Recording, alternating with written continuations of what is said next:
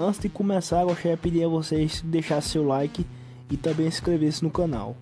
A autoridade foi uma das grandes estables que já passou pela WWE, seja pela sua quantidade de membros, seja pelos plot twists envolvendo essa stable. Porém, ela teve um início bastante interessante. No SummerSlam do ano 2013, o John Cena iria escolher um oponente entre um dos que estavam no roster. Ele era o campeão na época e ele tinha que escolher alguém do vestiário. Só que todo o público pedia Daniel Bryan. Daniel Bryan, Daniel Bryan, Daniel Bryan. O John Cena inclusive estava fazendo um ótimo reinado por esse título.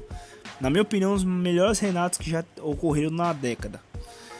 Aí o que aconteceu? John Cena escolheu Daniel Bryan. Fomos para o combate no SummerSlam.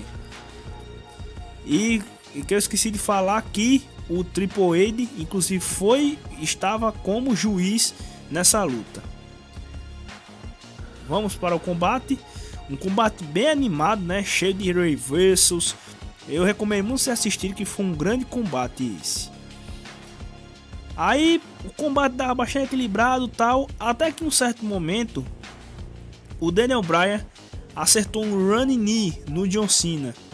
1, 2, 3, Daniel Bryan, novo campeão. Tudo ia muito bem naquele momento, até que toca a música Randy Orton. Randy Orton naquele tempo era o Mr. Money the Bank. E ele estava naquela, vai fazer o cashinho ou não? Ficou ameaçando, só que ele começou a andar, parou na rampa. Como se alguma coisa fosse acontecer com o Daniel Bryan no ringue.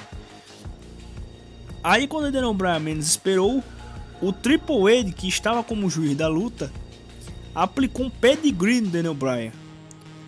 Randy Orton entrou no ringue, fez o cash-in e, inclusive, se tornou campeão da WWE. E uma coisa muito interessante disso é que Triple H e Randy Orton são, eram grandes rivais, grandes rivais se unindo para conquistar um título. Desde a época do Evolution, aquela época lá antiga, os dois eram rivais desde aquela época. Grandes rivais se unindo. E assim a gente tem início de uma das grandes stables que já se passaram pela WWE, que foi a The Authority. Essa stable que vários membros entraram para ela, inclusive, como eu havia dito, é uma stable que esteve envolvida em vários plot twists, como por exemplo a rivalidade que eles tiveram com o Shield, que envolveu uma traição do membro Seth Rollins do Shield. Mas lá na frente, se vocês quiserem, eu posso fazer um vídeo falando disso.